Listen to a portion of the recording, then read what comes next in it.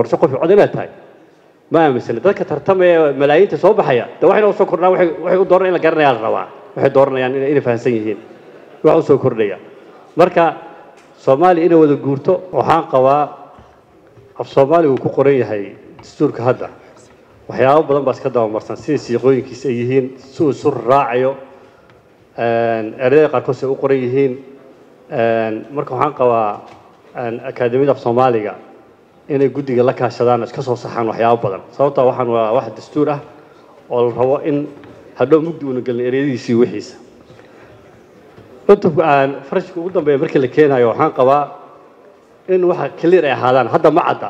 Marka qaarkood markaa akrinaysid waa iska asalka dastuurka marka hore in la soo qoro. Dastuurka asalkiisa wuxuu ahaa sidaas. Waxa iska bedelayna ama waxa la soo jeeday waa kana. Isbedelkiisa rasmigaana waa kana in la dhaho ay caddaadaan wixii. Laakiin waxaa yaro muuqato in meel dhex wax ka banaan yihiin faqre waa la tiri leeyahay faqre kale dhinac kale ku jirto waxa la tiri aan la garanaynin halkaasna waxaan rabaa in iyadana sixitaan badan lagu soo sameeyo. Arrinta ugu muhiimsan aan ku soo laabanaya waxaa waaya arrinta guddiga doorashada waa inuu noqdaa guddi aniga waxaan qabaa heer qaran ah oo guddi guddiyadii hore ee shaqayn jiray oo kale ee dastuuriga ahaa. Guddi professionkaas ku imaadoo kale in laga dhigo. Laakiinse waxaa iga muuqdaa meeshaasi inuu isqa qabsi ka imaan karo labaan kala baxay labaan ku soo darsaday iyo laba liguma darin waxaas inay inay dhib badan u imaan doona igala muuqda marka laba heer in loo kala qaado maadaama ay ay ay ay ay doorashooyinkii isteedeen hadda uu taagan yahay doorasho qofkii codo hadda la qabanayaan si u qornaa marka hore aynu ku jirin halkaasna in halkaas laga saxo ayaan qabaa. Aniga qodobadada ugu muhiimsan waa kaas. Ereyga ugu dambeeyaan ku soo gabagabeynaya waxaa weeye mudan yaali marweyn haddaan aanay doorasho qof iyo cod oo xisbi ah oo aragti ah oo leeyahay soomaaliya qofkii cod baa leedahay shacabka soomaaliyeed baa codkooda dhibanaya haddii la lahay.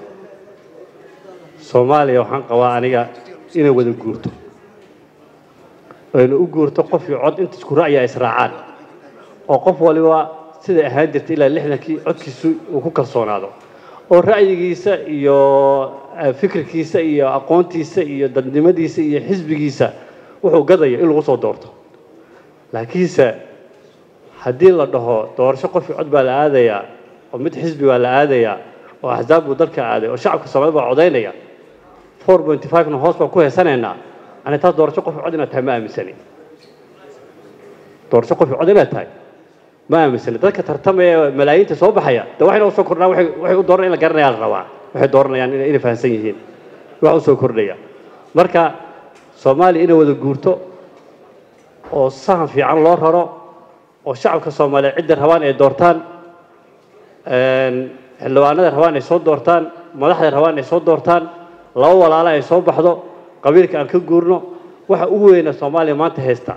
Problem badan baa aada looga hadlaa. Ra'isul wasaare madaxweynahaas haysta issue badan aada looga dhigay.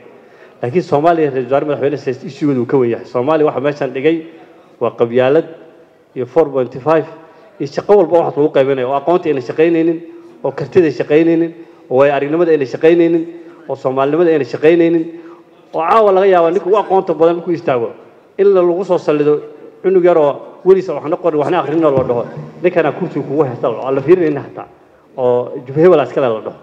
Marka waxaan qabaa hataa xisbi aadnay oo aan aadnay doorasho qofkii coda oo shacab weyne soomaalida codaynaya in la dhaho. Inaan wada guurno soomaaliya